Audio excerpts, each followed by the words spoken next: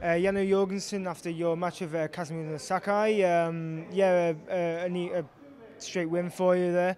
Um, yeah, how do you feel after that match?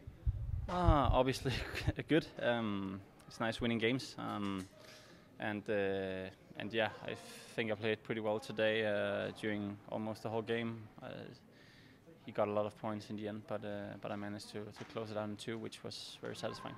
Yeah, and it's the um, I think it's the fifth time you've played him now. Um, he's won three, you've now won two. So obviously you've played more. So was that easy to prepare for the match?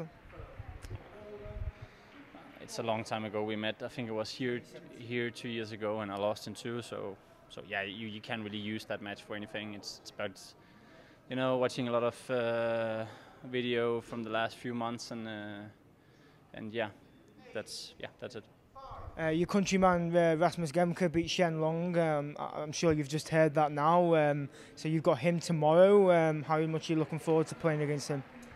Um, it's always nice to you know fun to play a countryman and um, and uh, yeah, I'm looking forward to that game. It's going to be very fun. Uh, Rasmus is one of the young upcoming uh, talents and and yeah, I think I'm I'm not I'm not not that young anymore, so so I'm doing everything I can to you know to to compete with these guys. So so yeah, I'm hoping for a fun match tomorrow.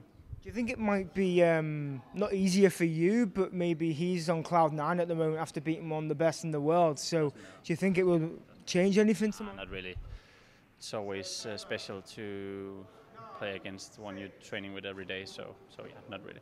Okay, cheers, thank you. Good luck.